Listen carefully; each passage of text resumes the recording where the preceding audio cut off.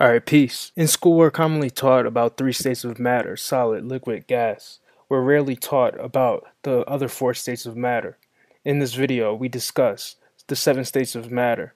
The focus of most primary and secondary schools are on the first three because these are the ones that we sense with our five senses. We will list the seven states of matter and explain each one. Before we get started, it's only proper that I thank the Most High and greet the children of Israel in a proper way. Peace and greetings, brothers and sisters. All thanks and praise is due to the Creator, the God of our fathers, Abraham, Isaac, and Jacob. I bear witness the 24 elders are the custodians of divine unity, that Koshi Yahbahuehu is the King of this world and the divine knower of its beginning and end.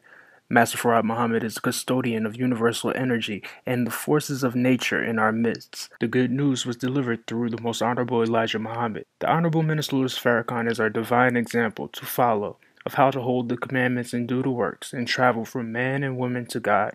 I am thankful to speak to no other than the children of Israel, the 144,000 custodians of divine life who are responsible for rebuilding the character and the self improvement of the lost found nation, making us fit to accept our own and be ourselves. Once again, peace, shalom, assalamu alaikum.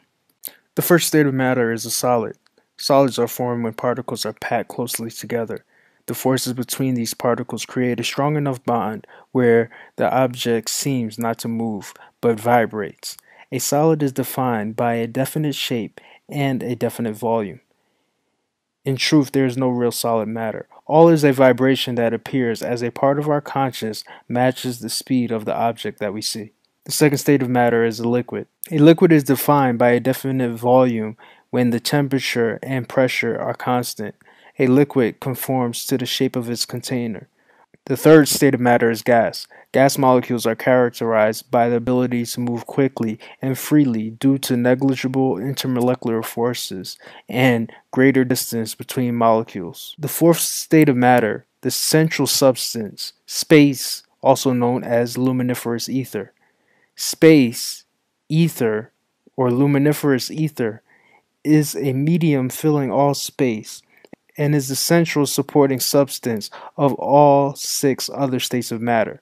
While modern scientists consider this substance hypothetical, its existence is proven by looking up in the night sky.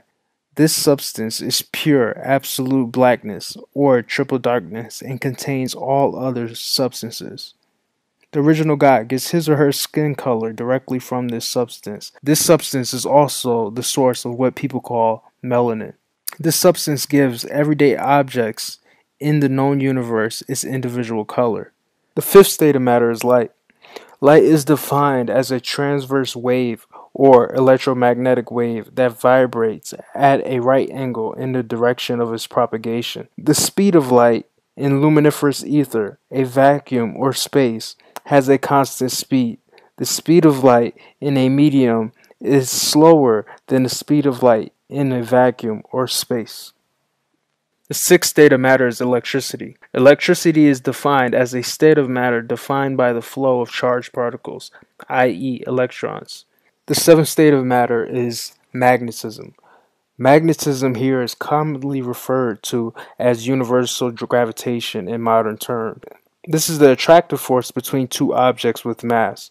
On a universal scale, magnetism is the attractive force that brings together all solar systems that are alike, causing them to find each other. On a planetary scale, we observe that heavy metals like iron and gold sink into the earth, while hydrogen and oxygen gas float to the top, forming water in our atmosphere.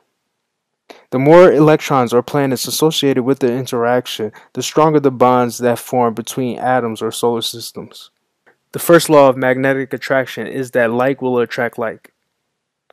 The first law of magnetic attraction works in exactly 100 ways. There are exactly 100 natural elements on Earth. Natural elements start from hydrogen, one planet or one electron, fermium, 100 planets or 100 electrons. The elements on the periodic table outside of these hundred elements are temporary or man made and only last seconds. The second law of magnetic attraction is that unlike will attract unlike. The second law of magnetic attraction works in nearly endless ways. The second law of magnetic attraction is observed most commonly by modern scientists in the form of ionic bonds. These ionic bonds are denoted in chemistry as being formed by the attractive force between oppositely charged particles. Let's look at the second law of attraction on the universal scale and the subatomic scale for everyday table salt. On the universal scale, NaCl is formed by the attraction between a star system with 11 planets, Na, and a star system with 17 planets, Cl. On the subatomic scale, NaCl is formed by the electrostatic ionic attraction between Na plus and Cl minus. Na and Cl balance each other out when the compound NaCl is formed. Here are some commonalities between the seven states of matter. The seven states of matter all have a spectrum that ranges in intensity. All seven substances come out of the condensation of nothing or the mind of God. God is infinite in eternity, no beginning and no end, but not in creation. This allows God to create and continue to make every new universe larger than the first to infinity. The vibration of conscious. The highest of these vibrations is magnetism. The lowest is solid. Part of this consciousness is inside of us vibrating as perception, and the other part is outside of us vibrating as matter. God condenses a part of his mind, which is in an expanded state, and forms the first substance, magnetism.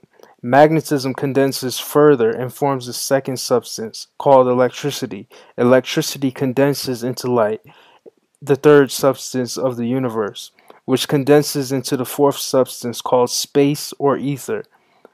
The last three substances, gases, liquids, and solids, condense in three stages out of ether.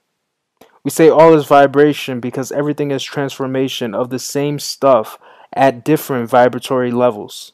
We see in the process of photosynthesis that matter starts off from light energy and is condensed into solid chemical energy through a plant or organism. Just to be clear, this has nothing to do with a mystery God but actual elders are creating new star systems every 7,000 years. They create over a period of time of 6,000 years and rest for 1,000 years.